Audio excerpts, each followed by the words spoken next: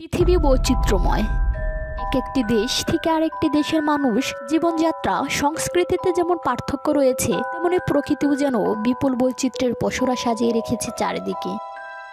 তেমনি এক বৈচিত্র্যময় স্থান হলো প্রশান্ত মহাসাগরের বুকে অবস্থিত ছোট্ট দ্বীপ রাষ্ট্র পালাও প্রজাতন্ত্রের এই হ্রদ।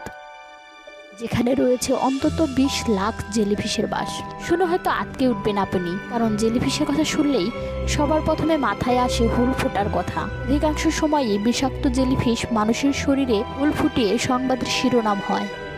তবুও প্রতি বছর লাখ লাখ পর্যটক ঘুরতে আসেন পালাও প্রজাতন্ত্রের পাহাড় বেষ্টিত এই হ্রদে। এবং বিপুল সংখ্যক এই জেলিফিশের সঙ্গে তারা সাঁতারও কাটেন নিয়মিতই। ভাবছেন কীভাবে সম্ভব? সাধারণত শত্রুর আক্রমণ থেকে পানে বাঁচতেই জেলিফিশগুলো হুল ফুটিয়ে থাকে। তবে এই হ্রদটি একটি আগ্নেয়গিরির অগ্নুৎপাতের ফলে প্রায় দশ হাজার বছর আগে প্রশান্ত মহাসাগর থেকে আলাদা হয়ে গিয়েছিল।